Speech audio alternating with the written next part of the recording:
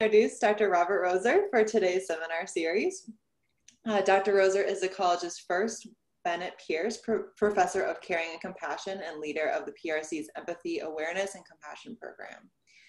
His interests include contemplative practices like mindfulness and compassion, um, and education for staff and students, school, uh, schools as central cultural context for child and adolescent academic and social and emotional development, school reform and professional development, um, and India globalization and adolescent development.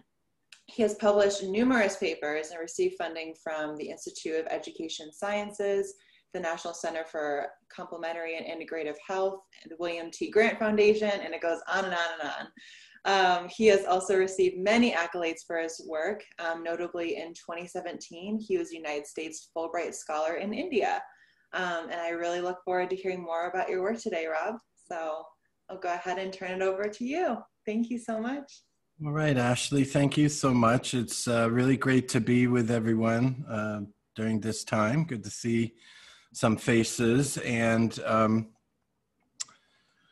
I'm going to talk about the art and science of human flourishing today, but we thought that uh, we would begin with an arriving practice to allow everyone to sort of come into the virtual space, as it were, and find their feet on the floor. So before I begin, I'll turn it over to Blake for that. Hi, everyone. Uh, as Rob said, since this talk is about the art and science of human flourishing, we thought we would try to uh, reenact what we do in the class each time we meet.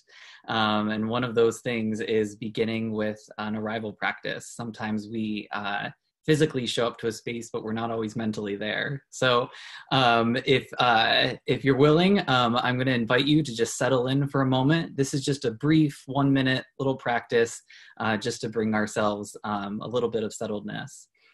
So if it feels comfortable for you uh, to uh, to to shift to find a comfortable uh, seat, if it feels right to close your eyes. Um, I invite you to do so, uh, or even just simply bringing your gaze down uh, to the table or the floor.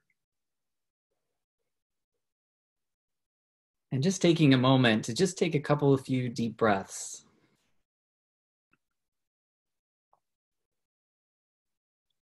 Just sinking into the feeling of the breath.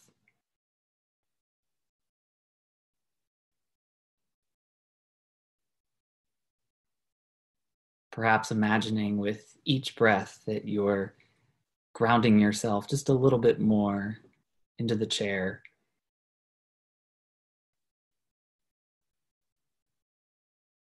Just allowing the body to be relaxed at ease.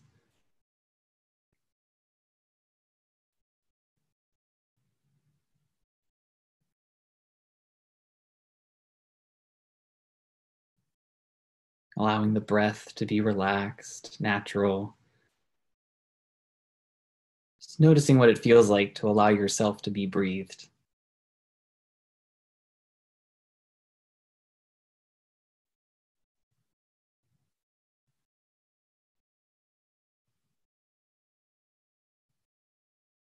Just noticing what it's like in this moment to let it all be.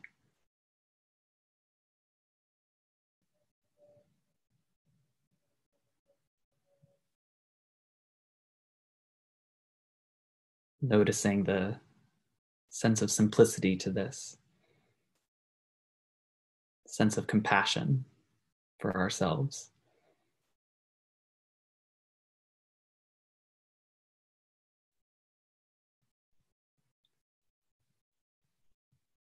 And then going ahead and perhaps uh, bringing some movement into the body, stretching a little bit. Sometimes our neck needs a stretch, our shoulders, our arms whatever you might need.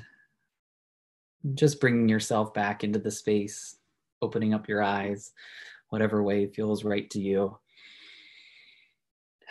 And just bringing that sense of presence uh, into the talk today. Thank you.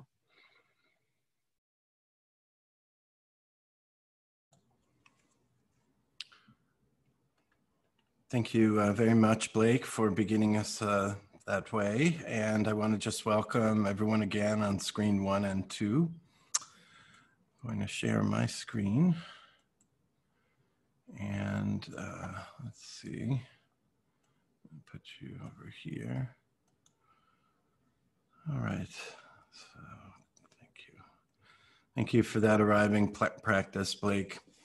Uh, so today, in the precious time that we have together, I'd like to talk about the art and science of flourishing. I know we have um, various people in the room who are interested and expert in this, and so I hope we'll have some time to engage in some questions about what I talk about. But really, the reason we've come today to together today is to answer the question: um, What is it you plan to do with your one wild and precious life, PRCers? no, just kidding. But uh, yeah. Uh, we can think about this. This is the invitation of the course, Art and Science of Flourishing, that I'm going to talk about today. And as we tell the students, and my father used to tell me, uh, son, you don't need to have an answer, but maybe think about it a little. and so that's what the course is about.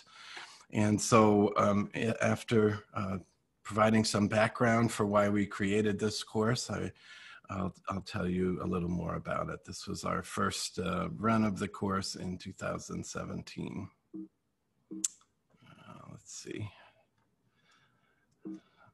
Uh, let's see. All right. So, uh, what I'd like to do today is uh, five things in our time together. I want to talk a bit about the social problems uh, that gave rise to the Student Flourishing Initiative, which I'll explain in a minute. Then, I want to um, describe the uh, background of the course that we created uh, based on our perception of two unique social problems that we were trying to address. I'll present um, a series of research studies on the impacts and implementation of the course, as well as some follow-up research we did at the height of the um, pandemic, the first height of the pandemic in May, June. And um, then I'll end with some summary and future directions, and we'll hopefully have time for comments and questions. So, um, what I want to talk about today is really a function of the Student Flourishing Initiative. This is currently a three university initiative, although we're um, on the doorstep of expanding to about 12 universities across the country. And um, it includes uh, colleagues uh, David Germano and Karen Inkelas from the University of Virginia. David Germano initiated the project with Richard Davidson at the University of Wisconsin and his colleague John Dunne, and then Mark Greenberg and I uh, joined with Penn State. And the Student Flourishing Initiative was originally formed based on two observations that many of us had, and we were working together as colleagues in the field of contemplative teaching and learning prior to this. I think the first uh, social problem that we were thinking about and wanting to address together was what I'll refer to as the need for renewal in higher education. Um, there's kind of current, uh, there was a classically a tension that C.P. Snow um, named in the uh, middle part of the 21st, uh, the 20th century regarding the two disparate cultures of academics, of academia, the arts and the sciences and the exhortation there, and I think we're still working at this, was to try to create more interdisciplinary um, offerings in the university that brought together the arts, the humanities, and the sciences. And I think you'll see this course is in part a response to that ongoing challenge. And then, second, there's really a more contemporary tension between two different kinds of cultures in education. I would say a press for more of a whole person um, liberal arts kind of an education and the press for specialization and the job market. And I think this is a tension that every school is facing. And in a sense, um, our one of our aims in this course was to bring a whole person approach to undergraduate education, specifically in the form of general education, because gen ed at Penn State and these other places all across the country are still trying to get more experiential more interdisciplinary courses into the uh, curriculum, especially in the first years of a student's life. So part of our um, desire to come together as the Flourishing Initiative was to promote this kind of renewal and integration synthesis in higher education through the curriculum.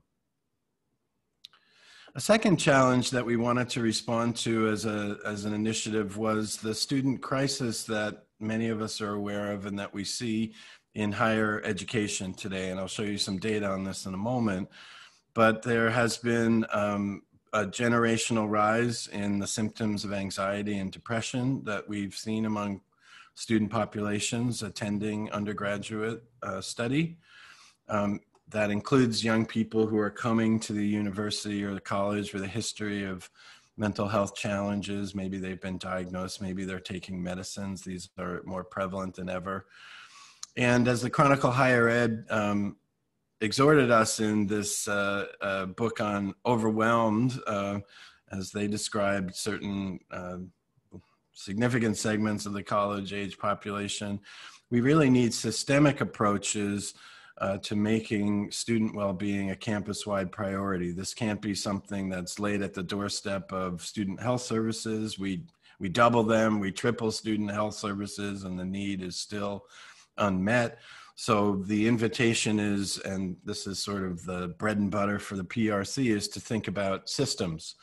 Um, to think about co-curricular, extracurricular, clubs, um, university wide initiatives as well as student services as a response to the student crisis in higher education today. So, this was really to try to bring some renewal and whole person education to try to do so in a way that might impart skills to students that help them address the inevitable slings and arrows of daily life that have been magnified 10,000 times by the looking glass platform of social media today. And so I wanted to just show you some of the data on the uh, changes in mental health as well as challenges in flourishing and meaning that we see among college students today to motivate the background that I was just uh, alluding to.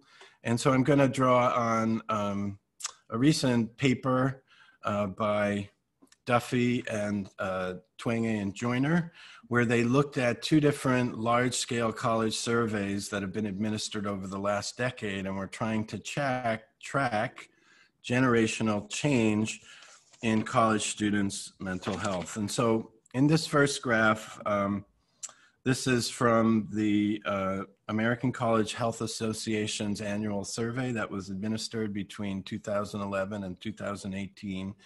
And as you can see, it includes almost 600, over 600,000 undergraduates. And um, what they've done is they've tracked, uh, they create certain cut points given the continuity of measurement across different cohorts of uh, entering college students or college students who enroll in the survey rather. And as you can see on this graph, um, I can't, I don't know what's underneath there. Whoops, okay, I'll go back. um, as you can see on this graph, um, the rate of what they call overwhelming, which is obviously in the upper parts of the scales they're using, overwhelming anxiety, anger, and severe depression have all risen in a considerable way among the college student population across this prior decade. And then what the authors did is they um, they looked at a second survey that was uh, done with 196 uh, colleges and universities, and this included almost 200,000 students, called the Healthy Mind Survey, to get another data source on um, student mental health during these uh, similar years. And so in this graph, again, it's a little bit hard to parse without color, but I think the, the largest uh, increased line that you can see is um, flourishing reversed. So what they're showing here is that across uh, 2007 to 2018, students who reported flourishing, and it's a scale that's similar to Martin Seligman's PERMA model of flourishing, which we'll, we'll talk about a little bit in a bit. Um, the lack of flourishing has increased along with severe depression and anxiety. So, this second data set sort of corroborates the findings from the first across the same period, and now we're up to almost a million students here. And I'll just mention these, but I won't go into them quickly. If you kind of look further, they're really looking at it's not just sadness and anxiety and a lack of purpose and meaning, but we're really talking about um, hopelessness and suicidal ideation attempts and self injury, also increasing rather significantly across these same years in these data sets. So real striking data and, and kind of a cause for concern. And I know we'll have a chance to talk about some of these issues with our guests in the PRC later in the semester as well. and then COVID hit, you know, as if the generational challenges that seem to be uh, afflicting college students, and there may be many reasons, and we can discuss that uh, um, uh, among ourselves as to why these generational changes are happening. But then we had the pandemic hit, and we know that on top of these generational challenges in student mental health, that it's um, um, it is the case that um, this pandemic, as a major uh, uncontrollable stressor, is also adding increased burden on adults' mental health. And so this was a recent paper by Twenge and Joiner where they used census data um, to look at the changes in the prevalence of various mood problems from um, uh, the previous year to the time of COVID in 2020. And in general, what the authors found was um, that um, during the pandemic, um, American adults were three times more likely to screen positive for depressive mood problems and anxious mood problems, both. Um, or just one of them. So again, we have this generational rise, and now we have this major stressor impacting the well-being and mental health of college students among adults writ large in our country and in the world. So I think we're aware of this background and many of us are working on it. I just wanted to provide some of the uh, data on these um, sort of social problems that we want to take a curricular prevention and health promotion strategy with regard to in the work that I've been doing with the Student Flourishing Initiative. And so um, as we see in different parts of the country, this systemic approach to making mental health a priority, uh, student mental health a priority on college campuses is there. And part of the um, aspiration of the Student Flourishing Initiative is to draw together various universities that are doing this and to begin to create a clearinghouse and a sharing uh, platform for various different approaches, including curricular approaches. This development of new courses that may impart students with life skills, coping skills that they can use to practice um, sort of um, self directed medicine that they can use to help themselves, not as a cure all, but as an adjunctive part of a systemic approach to student well being. And we see courses like the Science of Well Being at Yale, that's also on Coursera that's attempting to do this. There's colleagues I've met at the at New York University who created such a course and are now marketing it under this uh, not a profit for profit institution called uThrive. In fact, some of those folks say that's where the Yale course came from. and then we decided to create our own course and um, gradually um, university researchers are both registering, starting to try to study these courses in the way that I'll describe that we are today as well. So um, what I'd like to do now is to turn a little towards the Art and Science of Human Flourishing course, this course that was created in response to the need for renewal in the student mental health crisis across the three universities. And I just want to start out by saying, um, believe it or not, in the course, we take a very light touch to defining what human flourishing is. Um, so this is a word cloud, and often on the first day, we ask the students to reflect on this word and their associations with it. And in some ways, um, we leave them with a with a rather open definition that flourishing has something to do with the realization of our deepest aspirations for ourselves and the world this life. And then if we need, if we get pressed further, um, we say something like, well, it's beyond surviving. It's leading a meaningful and fulfilling life. And I'll um, talk more, if you like, about this invitational, open approach that's attempting to be um, um a little more than descriptive, but not too prescriptive, because that also can backfire, we think, developmentally. Um, uh, so um, I can talk a little more about that. But one of the main justifications and motivations that we tell our incoming students is that at this time in the developmental um, lifespan, the uh, the brain and the body is particularly malleable, that is amenable to training And if flourishing requires us to learn new skills and perspectives, wow, 18 to 30 years old is the prime time for this. This is the greenhouse for flourishing, we tell them, based on the um, tenets of developmental science. So use it or lose it. All of those ideas we really bring in here to motivate that um, young people, if they work a little on themselves, we tell them you're perfect just as you are and you could use a little improvement like the rest of us. This is a zen saying by uh, suzuki roshi uh, at a certain level absolutely perfect right now. And at a relative level keep working at it. We tell the students if they do that now it could conduce towards a lifelong set of habits and dispositions leading to meaning and fulfillment. As you might expect the course draws on uh, social psychological um, uh, scientific, psychological scientific theories of flourishing. So we do try to bring in ideas um, that are central to views like Martin Seligman's, which tries to bring together these hedonic or positive emotion and pleasure oriented views of happiness with more eudaimonic or meaning oriented uh, perspectives on flourishing. And um, we kind of point out uh, some of the qualities of what a flourishing person may look like in the tradition of Carol Ryff. We ask them to find someone and write a paper on someone who's flourishing.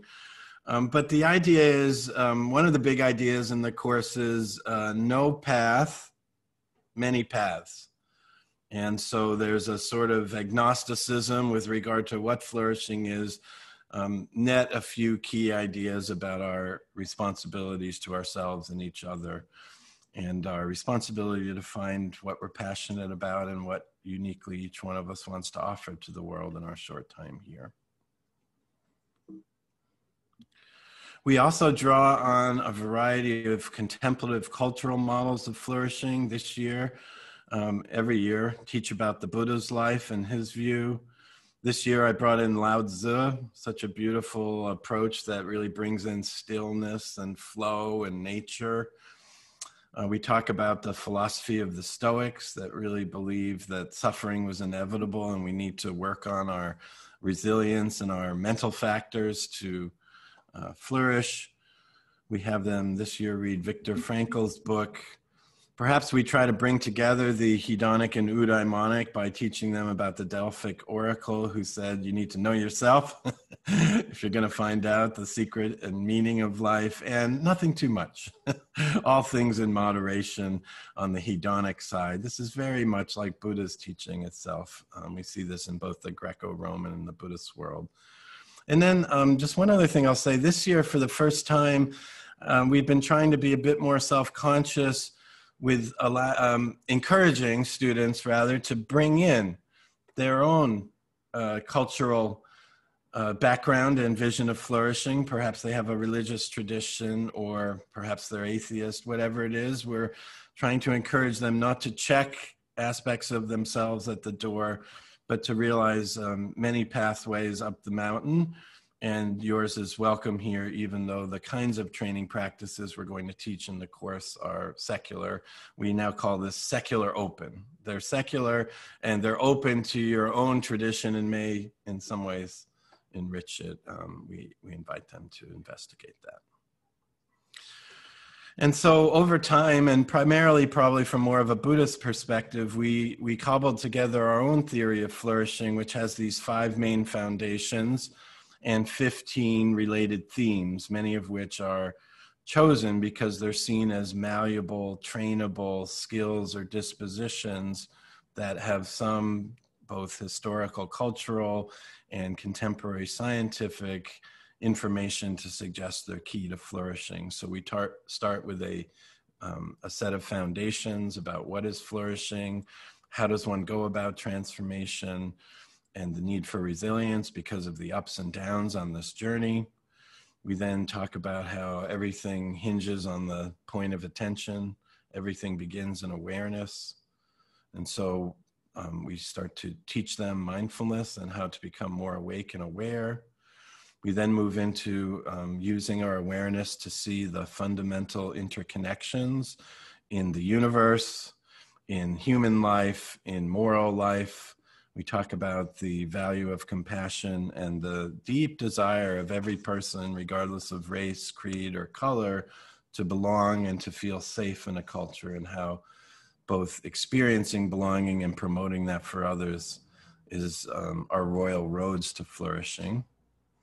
And then we talk about insight into our identity. We start to help them craft a vision and a sense of purpose and passion about what they're interested in, which takes imagination. And then the last weeks of the course, we ask them to start to think about how they're going to embody what they've learned with courage and with a community of like minded peers to begin to uh, bring their aspirations to fruitful realization and in the coming years. And so, um, in general, I'll just say the course aims to explore uh, diverse perspectives on flourishing. I've said we present science on flourishing each week and the, the particular theme that we're looking at. We introduce um, sequentially a series of mindfulness and compassion as well as yoga meditations. We've really discovered, rediscovered every year that the movement practices like yoga, the students really love there's something about attending to the whole body in motion before you try to sit quietly with the natural rhythm of your breath, which seems a little bit more accessible and more of a scaffold to this work. So uh, try to remember that. And we think that through um, these explorations and practices, we can develop both the skills and a vision of flourishing. But um, overall, again, I'd say the, the, the ethos of the course is an invitation into inquiry and we also emphasize um, quite a lot that it's not like we're at the other shore calling the the boatmen over with the with the students on the boat that we're all on this journey together not finished. Um, we're in this with them as it were. The course was taught as a flipped course. That is there was recorded lectures that were watched asynchronously outside of class and in class, we try to blend some academic, but mostly experiential and social group learning. And the way we do that is through poems and stories, through scientific studies, through wisdom figures and traditions, and through the meditation practices themselves. These are just some of the books we read in the course, and uh, we can make these slides available if you'd like. And then, uh, for those of you who are interested in contemplation, we introduce students to the usual suspects the body scan, mindful movement, focused attention on sound and the breath, a beautiful letting be practice like Blake led us in today, which is a form of open monitoring or mindfulness practice. And then we also teach self compassion, loving kindness, a little unforgiveness, perhaps gratitude usually near Thanksgiving Day, and we really try to emphasize uh, mindful listening. That is, listening without responding. Listening for the sake of understanding rather than listening for the sake of responding. We find that is a bit of a lost art today that we want to reintroduce to the students. Um, this is a theory of change that the group has created for the scientific studies of the course over the past three years. And on the left side of the diagram, um, the whole thing we believe begins with a safe and caring classroom and meditation environment. I should say the class has two group meetings a week, may say Monday and Wednesday, and then Friday is devoted to a contemplative lab that's usually run by people like Blake uh, uh, and Elaine, various um, uh, co-instructors. And uh, so we think this safe and inclusive environment is the crucible in which all learning happens. So we pay a lot of attention to that. So for instance, even now, Elaine and I are teaching the course. We, we devote three to five minutes every class, if you can imagine, to just asking the students to turn on their cameras and greeting them so that we can actually see them even in this virtual format because we think it um, in some small way, perhaps promotes a sense of community and belonging that becomes the predicate for extension of oneself and learning. And then um, we try to, within that context or crucible, um, offer two kinds of learning experiences that we associate with two different kinds of learning. One are experiential learning opportunities like the meditation exercises or partner or small group exercises we do. And this is sort of learn by doing. And we believe this cultivates procedural learning. That is something more like motor learning rather than top of the brain conceptual learning. I mean, it's both, uh, but ultimately, it's a kind of um, skill formation, like riding a bike, that we think meditation cultivates. And then on the other side, there's the traditional academic learning with the lectures and the readings and the reflections on the readings and the class discussions. And we think this promotes declarative or conceptual knowledge, knowing what something is or how it works versus knowing how to stay calm in the presence of stressors. And so um, we look at both procedural learning outcomes in the form of attentional and social emotional skills and declarative learning outcomes in terms of some of the uh, perspectives on flourishing we're trying to get across in the course, such that meaning making is critical and that at some level we all share a common humanity. That is, we wish not to suffer and wish to flourish, each and every one of us. So we think those skills and mindsets are sort of the proximal precipitates of the course offerings, and we think those um, skills and views have functional consequences for downstream mental and physical health and risk behavior of the students. So I want to turn now, we're doing pretty good on time. I'm just zipping through this on a beautiful fall day. Um, just turn to um, a little of the types of research we've done so far and give you a taste of that and uh, um, we'll come in in time for questions. I'm, hope, I'm hopeful. Um, primarily we've been doing pre-post quasi-experimental match propensity score studies of the course across the three universities. That is, um, we all teach the course in the fall. Uh, students enroll in the course, and then we've been soliciting a control sample, um, usually much larger than the number of students in the course, to try to create a propensity match sample since we have not yet gotten to the point of randomly allocating students to the course or not who are interested in it. This is a, a goal of ours, but not something we wanted to figure out with the registrar before we figured out if the course worked. and so I'm going to tell you a little about those initial pre-post studies. We've done one in 2018. We replicated it in 2019. We're doing it now 2020 with the online version. I'll tell you a little bit about a study we did of the implementation of the course in the first uh, year of study, 2018, across three universities. And then I'll show you a little data from a follow-up study um, that we conducted with all students 2018-2019 cohorts during um, May and June of this last year to see how the students were doing during the COVID pandemic. I should say because we've been collecting a lot of data, especially control group data each year, we're also investigating our own generational cohort study of how much anxiety and depression did the students show up with in our samples in 2018, 2019, and 2020. And I think, as you can imagine, there's already a story there, although um, much of this data is still being processed as we speak. So try to give you the best taste of it I can here. So I'm just going to show you a few. It's and I apologize if I had had another uh, another mind. Maybe I would have done uh, a lot more pictures. So I am going to show you some tables coming through here. So please bear with me. There, there's once in a while a figure, and I wish there were more. Uh, but here's the uh, samples for the 2018 and 2019 cohort studies across the three universities. In 2018, we um, engaged in a two to one matching procedure, which led to 315 students in the sample. And um, you can see if you train your eye across the, uh, the columns that these are mostly first year students. That is, they, they've just come to the university. Um, they're about 75% female. Um, this kind of course seems to attract uh, more females, and we can talk about that. Uh, the course is about 70 to 75% um, white students um, with fewer African Americans, 17 to 10 to 17% Asian American, and fewer African American and Latinos, as I said.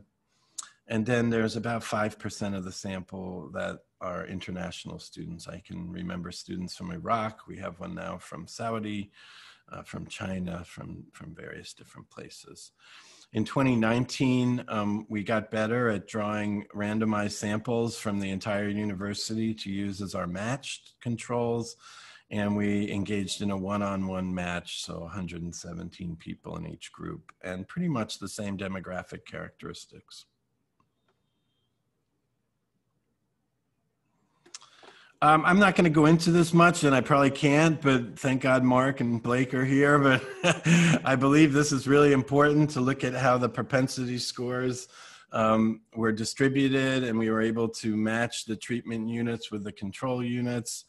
Uh, this is the distribution for um, 2018, 2001. There was um, a lot of uh, the propensity score matching went well, and I understand in 2019 this diagram shows a similar thing as you can see the units lining up there. Just tell you a little about the measures. Um, as I mentioned, I'll talk probably today, I'll just talk about some attentional skills. Um, as the proximal outcomes, do the students learn things like um, focused attention and being able to regulate their attention, becoming more mindful.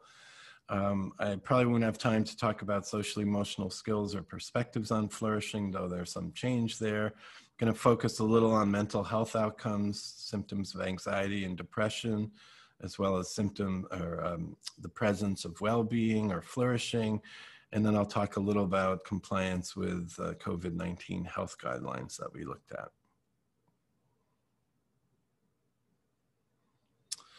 I won't go through all the items, uh, measures item by item, but just to say we used um, measures from large scale surveys that are also done with college students. So the, the GAD was used to look at um, anxiety and the PHQ was used to look at depression. And we use something called the Pemberton Happiness Index, which really tracks on the categories of PERMA, uh, positive relationships, uh, positive emotion, um, and so on and so forth. So I wish I had a, a, figure, but I don't. So in 2018, I'll show you the results pre to post test on the mental health outcomes. These are the results of a series of models um, in which um, we've included the pre measure of the outcome measure. So these are really um, uh, change uh, estimates and we've controlled for the research site or the university, the student's gender, race, first year status as well. And so what we found in 2018 was across the course of the fall semester, those 105 students in the treatment group reported uh, no change in their symptoms of depression and a slight lessening of their symptoms of anxiety across the semester, whereas the matched controls um, showed an increase in both symptoms. And the effect on depression was significant at 0.05, whereas the symptoms of anxiety was uh, significant at 0.07, I believe. And then we also found those in the class reported um, improving well being over that time, whereas those in the control group were relatively flat. And so the course seems to have some um, immediate impact in helping students manage uh, aspects of mental distress. We reran the study in 2019 and one of those classic and critical errors where you take out a measure you really love happen. we did recover and brought it back for COVID, but we lost our anxiety measure. Uh, but nonetheless, we actually showed that the change in depression across the fall semester in the 2019 cohort was even larger than the year before, although we have to calculate the D for that. And similarly, we found an increase in well-being. So there's some evidence from the first two cohorts that the students are reporting that they're feeling less anxious and less depressed and feeling more of a sense of well-being across the course of the semester compared to controls.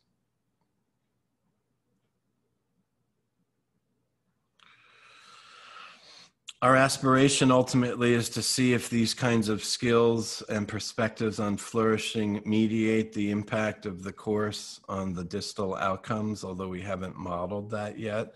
what we've done so far is just looked at the pre to post impacts on these proximal skills between the treatment and the matched control groups. And so I'll just show you a few effects here. Uh, these are differences in three different measures of attention by group. The first is the attentional fun function index, which really measures something like executive function skills. The second is our ability to be aware of sensations in the body and not reject them.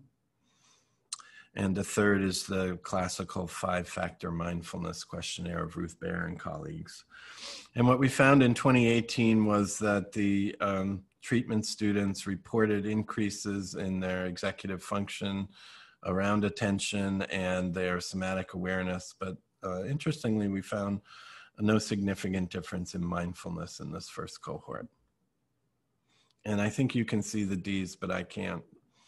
Um, I think they're small to medium is what I, oh, wait a minute, I have them here too. Anyways, they're there in the diagram and the effects on distress and well-being are also in the small to medium range. Uh, these results were replicated in 2019. We find that the treatment group reports greater increases in their attentional function, in their somatic awareness, and this time in their um, mindfulness compared to the treatment group. So there's some signal suggesting that the core skills of the course, especially taught under that awareness module, um, the students self-report changes in those outcomes. I'll just take a brief quick tour. Um, there was more to say about the outcomes, but for time, I'm going to leave it now. There was some change in things like self-compassion and uh, the perspective of common humanity. What we didn't find a lot of change in was physical health there was some signal around sleep and no impact whatsoever on the drug use and alcohol use or alcohol consequences question at either time points. No impacts on the distal health related outcomes other than sleep quality and quantity, which seem to be some leading indicators. We, are still looking at that. Uh, this slide shows how um, we had observers in 2018 in the class just rate how each one of the instructors used the time during the 15 weeks of the semester. And um, the three universities, remember, UVA, Penn State, and University of Wisconsin. So you may infer from the bars which one is which college fans. Um, but what you can see is that our friends in the red zone uh, were doing a lot more lecturing than our friends in the orange zone. And Penn State was just right. No, no I'm just kidding, just fell in the middle we all did about the same amount of devoted the same amount of class time to practices and then, um, sort of as the trade off for lecturing, it looks like UVA and Penn State engaged in more um, interactive exercises in the class than Wisconsin. So, even though it was a flipped course, you can see there was variation in the way that the different professors taught that course. Some resorting a bit more to the classic lecture style. And I would say our friends at UVA resorting to even more of a flipped course, probably the closest given the lack of lecture there. Penn State was somewhere in the middle. And so we did a lot to try to understand the pedagogy. And then we tried to understand just in a descriptive way, because we only have three universities, we don't have enough units to do multi level modeling. We just wanted to understand how variations in pedagogy may have affected the kinds of outcomes students achieved. And so we looked at pre post gain scores in certain outcomes in the study across the three universities and compared the effect sizes. It took us quite a long time to try to come up with some descriptive way to do this. And to make a long story short, what we believe we found was that the effect sizes of pre post um, change in the treatment students only within each of the universities was very similar across the universities. And so, what we tentatively infer from this formative implementation study is that different professors um, use different pedagogies, um, but the course seems to create similar outcomes so far. And this is good news because we tried to develop the course in that way with the idea that we're going to give it away. and that everyone who teaches it, including each one of us each year, changes it. And is there something, um, maybe the themes or the sequence of the themes that's sort of standard, but then there's a lot of room for variation in the way that those different themes are presented and um, taught. And so um, this result suggests that may be um, a possibility with this class.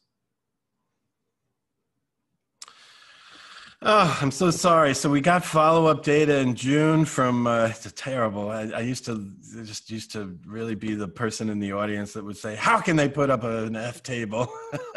Where is the graph? Don't they know there's an audience out here?" And so I apologize. I didn't have time for a graph here. Um, but I want to show you some follow-up data, and um, being aware of the time. I'll just tell you that our, our follow up sample was about 240 of the initial 500 students in the two cohorts. So we got about a 50% return rate in the COVID follow up wave from the 2018 and 2019 cohorts.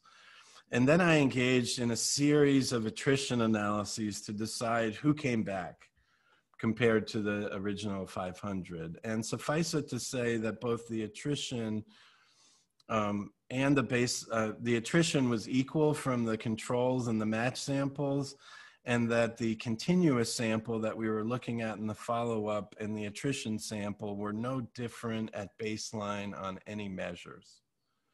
I don't think we can um, claim that the propensity match score stayed intact at the follow up but at least we could see um, that the attrition was not different from the treatment and control groups and that the resultant match sample um, was no different than the attritor sample on the baseline measure. So it gives us some confidence that whatever the follow-up data is, it's speaking to the original treatment and control groups, even though they aren't matched anymore. And to make a long story short, what we found and um, what we did is we put the data from the two cohorts together, um, and then we saw if condition, treatment control, and cohort mattered for the impact on these follow up outcomes. For the 2018 cohort, that was an 18 month follow up from the end of the course. For the 2019 cohort, that was only a six month follow up. So we wanted to know, did the time since the student had taken the course interact with their condition to affect these outcomes? And um, on the mental health outcomes, we found no cohort by treatment differences, suggesting that these treatment differences were uniform for students at both years. And so here's the F table controlling for cohort and gender. We found study condition, was associated with symptoms of depression, uh, anxiety, depression, and well being, as we had found before. Controlling for the pre measures, time one of these uh, outcomes, as well as the research state, first year student, stat, student, stat, student status and students' race. These are quite small impacts, especially compared to the baseline, but they are significant. And um, even though the mean differences are small, these are the covariate adjusted means and standard errors at the different time points. Our follow up results suggested that 18 months and six months later, the course was still um, associated with greater well being and less distress among students. Then I went back because I was so curious and I just mapped the raw means for these three mental health outcomes across the three time points for each cohort. So you can see on the left, the three time points are fall, uh, pre, fall, post, and then 18 months later. And you can see there is a fade out effect if you just look at the raw means for anxiety for that 2018 cohort. The impact doesn't really seem to lead out 18 months, although these are without the control variables. Um, you can see for the 2019 cohort, however, at six month follow up, they seem to really be maintaining less symptoms of anxiety compared to the control group. This is the right side of the anxious symptoms figure. And then uh, similarly, a bit of a fade out for depressive symptoms for the 2018 cohort, 18 months later. but not so for the 2019 cohort. And the same with um, well-being's a bit different. The improvements in well-being seem enduring for both cohorts, uh, either 18 or six months later. I hope that's clear. Okay, just a few more and then we'll have time for questions. Uh, finally, we took some uh, COVID compliance items. Uh, uh, how frequently do you wear a mask? Wash your hands, avoid being in public, or um, just try to isolate at home. And to make a long story short, the women are smarter. That's right. That's right. As the Grateful Dead says, women um, doing all of these behaviors more than the men in the study.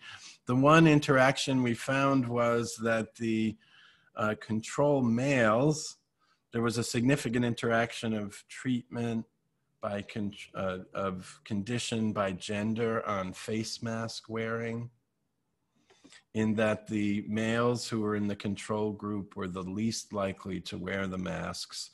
Those who had taken the course, males and females, reported equal frequency of mask wearing.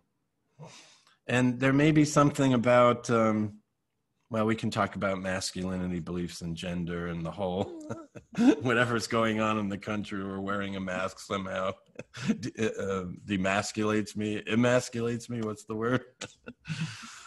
um, all right. So just to summarize and come to questions, there's some preliminary evidence with matched controls on self-report measures of improvement in attentional, social, emotional skills and perspectives on flourishing we need archival data and behavioral data and biologic data, other kinds of data to really um, buttress our confidence in these findings beyond self-report.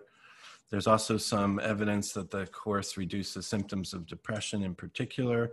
There's been this interesting thing in the uh, country where people are, uh, and this was in the Twenge and Joiner study, where actually anxiety is going down a little, but depression is coming up. So there may be a a phase change where we're not as worried, but we're now just sort of uh, feeling a bit hopeless. The course seems to help with some of those feelings. There's no evidence that the course is changing risk behavior in the near term um, or health uh, behavior either. We hope to track that over a longer period of time. There was one impact of males who took the course wearing their masks a bit more. We seem to suggest that maybe professors can teach the course as they wish, but within some constraints and produce similar outcomes.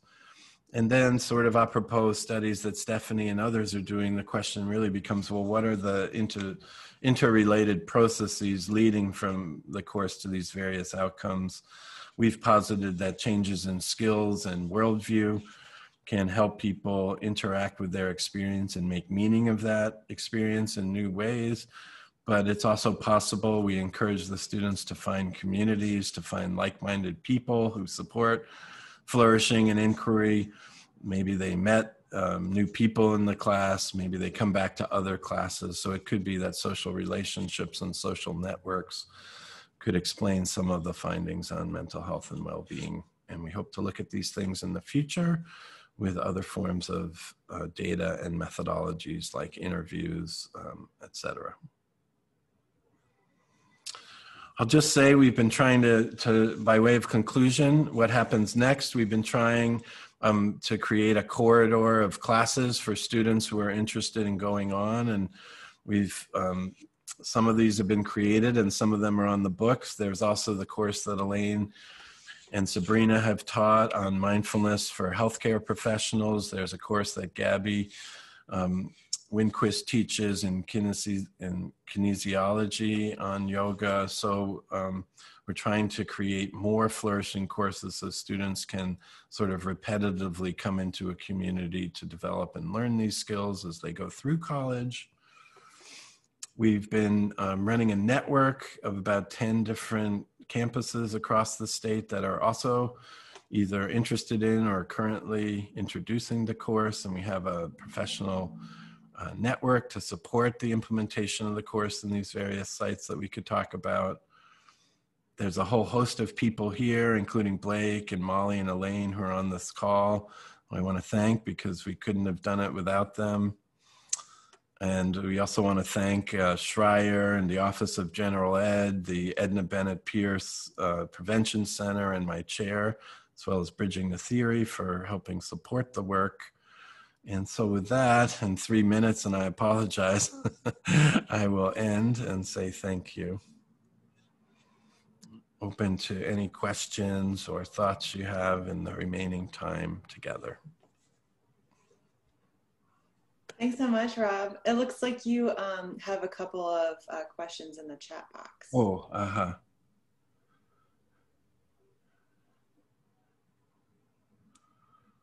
Um, the first question is What did you think you did to get better outcomes from the second cohort? Um, well, we got a randomized control group, so we think that's improving our estimates. But every year we've engaged in a um, process of continuous improvement around the course. And I think with what happened with George Floyd and everything this year, we're similarly engaged in a process of renewal and curricular revision. So even the names of the themes are changing constantly. And in some ways, this was our first, this was our five year plan to really work together and do formative research and this kind of research to see if we could um, get some signal that it was efficacious on the way to a more rigorous study and scaling and dissemination. So we'd like to think maybe the course is getting better outcomes because we're getting better at teaching it as we go forward. Um, do students have any information on how they use their skills after they leave the course? we, Blake, I'm smiling with Blake because um, we had the foresight in the follow-up survey to ask them what have they learned during the pandemic um, in our follow-up sample, and it was amazing the things that students said that they were they were learning, uh, which really, in some ways, seemed to be at least for the treatment group the application of these skills and we couldn't finish analyzing it so i can't tell you but um, we think that the whole course has to be about the transfer of skills to life beyond the course so your question is really like the most important question and we hope to find out more about that in the future. And i'll just say one way we're trying to do that is we've asked students to give us their written work there's no exams in this course it's only writing and we think there's a lot of process oriented insights in their writing that we hope to mine in the future. Are there other uh, questions that anyone would like to unmute and ask at this point? Yes mark. So rob there's been a tension between the three universities uh, about how big the kind of course can be and you guys have kept it intimate uh, where students really get to know each other. Uh, sections are also small. Uh, originally, when we envisioned this, uh, some people felt this was going to be a could be a 400 person or 600 person course. And I'm just wondering what your thoughts are about it now after you and Blake and others have gone through so many iterations. Thanks, Mark. Yeah, this is um, to find a scalable model, I think, is elusive still. It is true that our friends at UVA want it to be 600, very much like the Yale course, 1,000 students, I think, in the Yale course. And, um, and I'm probably at Wisconsin, that's the, the, the wish too, to make it much larger. Um, my father used to always say, Mark, uh, son, life is a series of trade offs. and so I would think the same with the course um, uh, and I'll just say that the problem of scaling it is is not different than the problem many of us in the PRC face around scaling the programs we promote.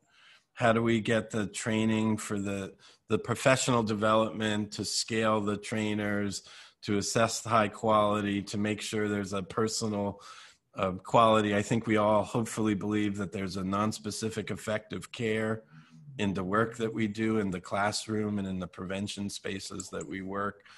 And so I'll just be honest and say I don't know the solution. I think it's a real tension as it gets larger. It feels like it could become less personal without a lot of professional development and support of instructors.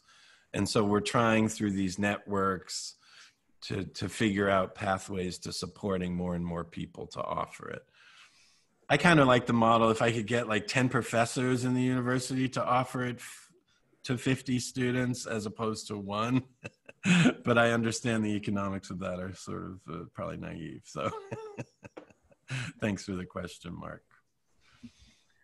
All right. Well, I think we're at the end of the hour here, but thank you so much. That was such a great presentation. Thank you so much for having me and be well, everyone. Take care.